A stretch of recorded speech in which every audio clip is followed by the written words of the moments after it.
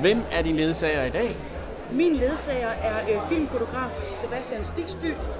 Okay, det Ja. ser ud som om I har lavet noget sammen. Vi har, øh, vi har lavet en øh, film sammen her, øh, her i år. Kan du sige, hvad det er for en Ja, den er ude jo. Eller ikke ude, men... Øh, Nej, vi har lavet, vi har lavet, øh, er released. vi har lavet en film, hvor Silas Holst er, er producent på. Okay. Ja, Og hvad handler den om? Film om ham. Det er, det er noget, der er baseret på, øh, på noget, Silas han gerne vil fortælle. Mere kan man vist ikke sige. Nå, okay. Uden at afsløre for meget. Uden at afsløre for meget. Silas han finger med i spillet, som han altid har. Okay. Ja. Og hvad sker der ellers i dit liv? Øh, så laver jeg Krejlerkongen, og så laver jeg noget, øh, noget tv-serie, øh, som jeg stadigvæk ved, om jeg må sige. Det skulle jeg måske egentlig have spurgt dem om, inden jeg kom i dag. Men øh, det får I at vide snart, tror jeg. Øh, ja. Og glæder mig til jul Og glæder sig til jul. Hvordan skal den holdes?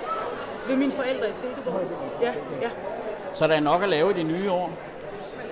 Eller hvad? Det er der altså, jeg håber jo på, at vi skal lave en sæson mere sommerdag, fordi vi ligger jo nummer et i Tyskland. Ja, det er jo det. Så, øh, og så håber jeg på, at jeg skal lave noget mere sammen med Sebastian. Vi pynser også på nogle ting selv. Man må gå i gang med at lave ting selv, hvis det ikke, øh, hvis der ikke Skriver er du andre, på noget? til. Så skriver man, og så... Øh, Hun er dygtig til det.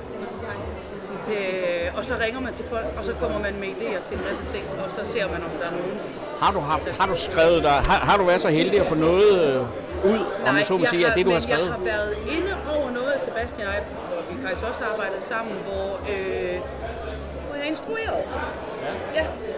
Og så kom ind over manuskriptet, så jeg kan godt mærke, at lige så stille, så begynder det der, når man godt kan lide at blande sig, så må man hellere rykke om på den side, hvor man bestemmer lidt mere.